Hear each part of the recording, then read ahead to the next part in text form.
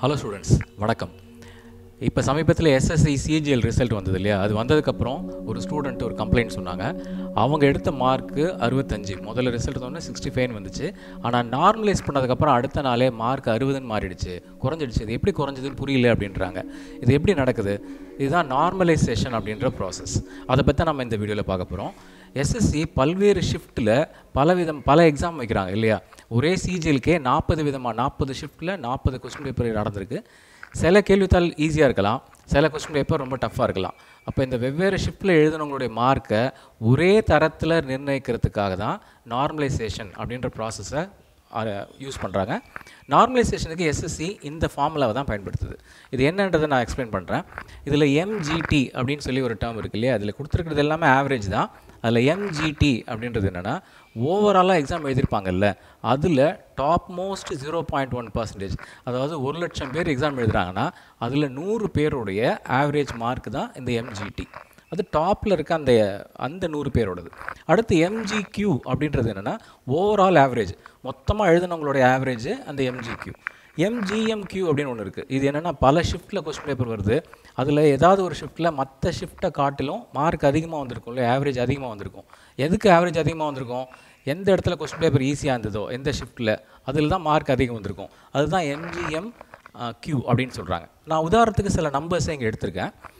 இதில் நம்ம எப்படி ரெண்டு பேரை கம்பேர் பண்ணி பார்க்க போகிறோம் ஷிஃப்ட் ஒனில் ஏன்ற நபர் எழுதுகிறாரு ஷிஃப்ட் டூவில் இன்னொரு நபர் எழுதுறாரு. அவர் பேர் பி அப்படி வச்சுப்போம். ஒரிஜினலாக ஏ எடுத்த மார்க்கு அறுபத்தி அஞ்சு தான். பி எடுத்த மார்க்கு ஐம்பது.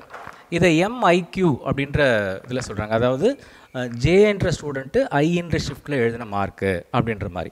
அடுத்து எம்ஐக்யூ அப்படின்றது என்னென்னா ஏ எந்த ஷிஃப்ட்டில் எழுதினாரோ அந்த ஷிஃப்ட்டுடைய ஓவரால் ஆவரேஜ் அதுலேயே எம்டிஐன்னு ஒன்று இருக்குது பாருங்கள் இது என்னென்னா ஏன்ற ஷிஃப்ட்டில் டாப் கேண்டிடேட்ஸ் இருப்பாங்கல்ல.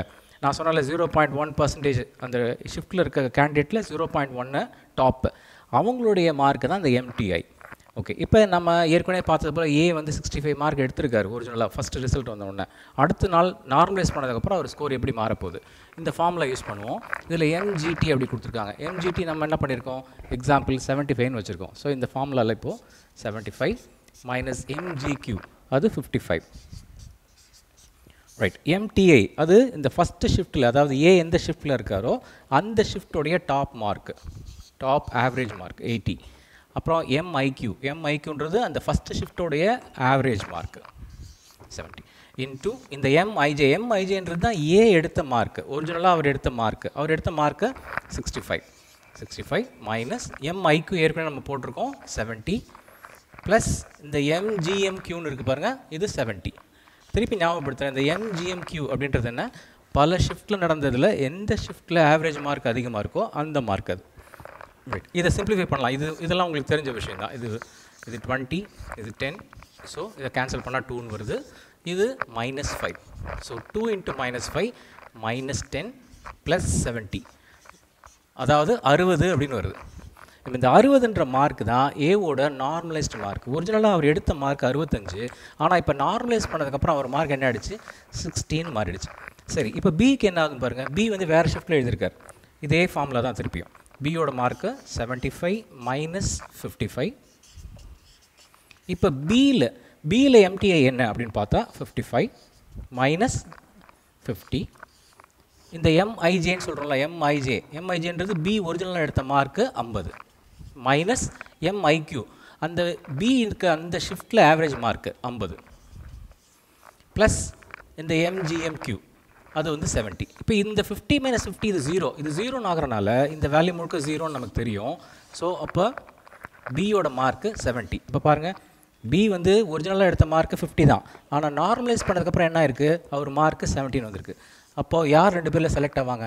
ஆப்வியஸ்லி பி தான் செலக்ட் ஆவார். இதுதான் நார்மலைசேஷன் ப்ராசஸ்ஸு இப்போ இந்த ப்ராசஸில் நம்ம என்ன தெளிவாக தெரிஞ்சுக்கிறோம்னா எந்த கொஸ்டின் பேப்பர் டஃப்பாக இருந்ததோ அதில் நல்லா எழுதின ஸ்டூடெண்ட்டு மார்க் அதிகமாகுது. உங்களுக்கு கொஸ்டின் பேப்பர் ஈஸின்னு நினச்சி நீங்கள் சந்தோஷப்படக்கூடாது. கொஸ்டின் பேப்பர் டஃப்பாக இருக்கணும் டஃப்பாக இருக்க கொஸ்டின் பேப்பரில் நீங்கள் நல்லா பண்ணணும். அப்படி பண்ணால் டெஃபினட்டாக நீங்கள் செலக்ட் ஆவீங்க. ரைட் இந்த மாதிரி எஸ்எஸ்சியில் நீங்கள் எக்ஸாமை கிளியர் பண்ணுறதுக்கு இன்னும் சில முக்கியமான ஸ்ட்ராட்டஜிஸை அடுத்தடுத்த வீடியோவில் பார்ப்போம். இதில் நார்மலைசேஷன் ஏதாவது டவுட் இருந்தாலும் கமெண்ட்டில் நீங்கள் போடுங்க. நான் உங்களுக்கு எக்ஸ்பிளைன் பண்ணுறேன் தேங்க்யூ பாய்